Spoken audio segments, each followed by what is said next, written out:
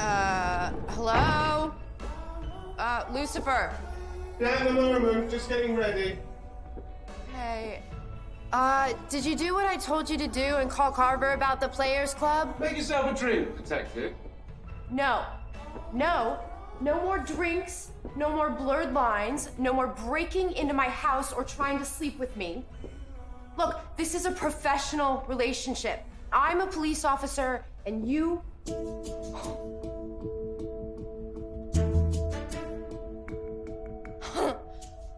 oh, naked. Oh. Speaking of my surprise visit yesterday, I decided turnabout's fair play. You know, tit for tat sort of thing. This is beyond inappropriate. and brave, wouldn't you say? Number three on the CKC list. Take risks.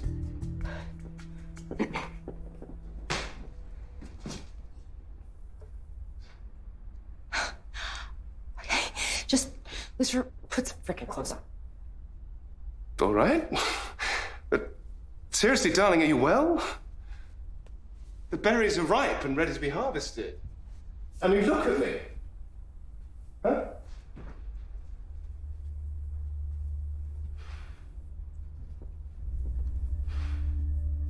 Now, you can't argue with that, can you?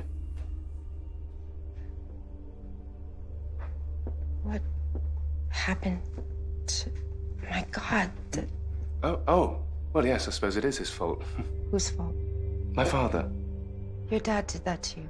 No, no, no, that's where I cut my wings off. What? Well, I didn't. Maze did. I told her to. Mm, no, seriously. What? Kiss.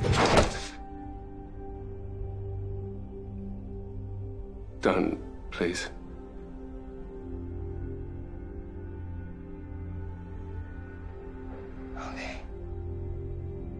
I should get dressed, otherwise we'll miss the party.